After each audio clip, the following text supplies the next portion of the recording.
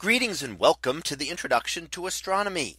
One of the things that I like to do in each of my introductory astronomy classes is to begin the class with the astronomy picture of the day from the NASA website that is apod.nasa.gov apod. And today's picture for April the 1st of 2022. Well, it is titled Leaning Tower Active Sun. So what do we see here? Well, looking out toward sunset in the direction of the leaning tower of Pisa off there to the left hand side, we do see our sun. And the sun as it sets will of course change color a little bit as we're looking through more and more atmosphere.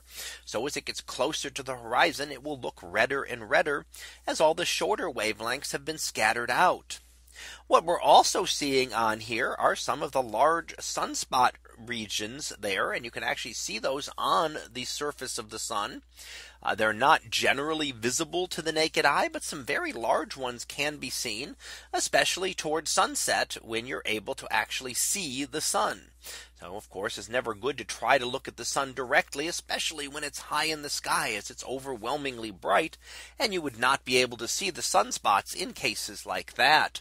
But here in this nice image, we can see a couple of those sunspots and the sun is getting more active now. And in fact, one of these sunspot regions did release a number of solar flares recently that have been striking Earth over the last few days. And that gives us some space weather that causes the aurora. So we'll get much stronger aurora. And we did see uh, some of that over the last few days with intense aurora at very northerly latitudes, where particles ejected by those sunspots then travel to Earth follow along our magnetic field lines and strike Earth's atmosphere where they come into the atmosphere.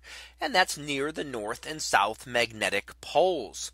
So it'll give us some very interesting views here on Earth. However, these types of flares can be even more disruptive and that we had a very powerful flare that caused a radio blackout because of the intense amount of energy coming from our sun. When one of the energy from one of these flares hits us that can actually disrupt communications for a time. So we can actually get some disruptions as well. In addition to seeing the nice aurora, we can also get disruptions caused when those flares happen to come in the direction of Earth.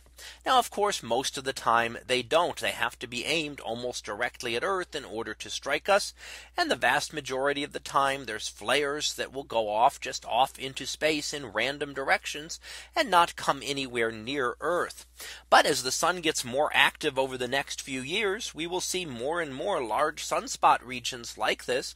And that means there'll be more and more flares and coronal mass ejections that come in the direction of Earth.